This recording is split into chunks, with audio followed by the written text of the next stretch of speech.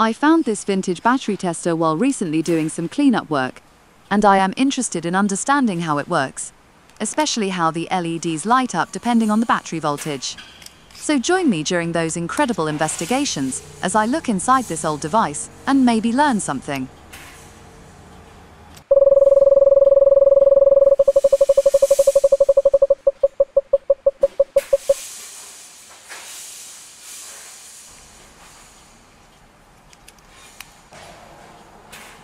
At this point of the video, I should point out that I am not an electronic expert. It is just that my mind has been triggered by this 40 years old piece of technology, and I need answers.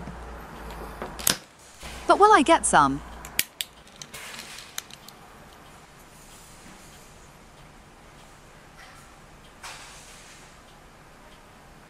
It has been a long journey. It took sweat, blood, and tears to come up with a basic electronic diagram. And there are still a few things that do not make sense to me. Despite multiple checks, I may not have everything mapped correctly. Also, there is still a component I have not been able to identify, so for now I will refer to it as Victor.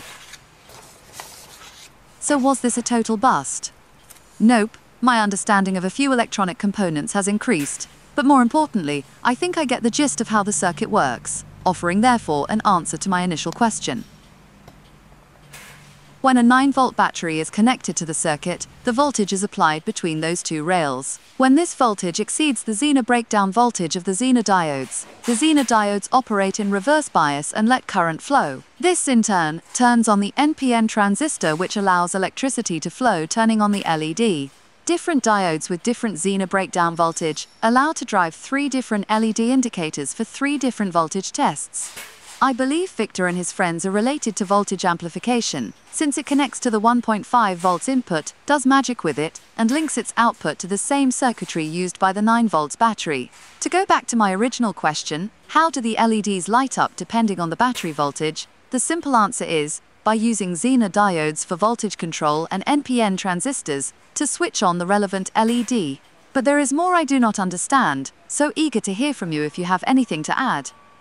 Do you spot any issues with the diagram I drew, especially around the center part? Do you know what component Victor is? Any other feedback? I am happy to read it all.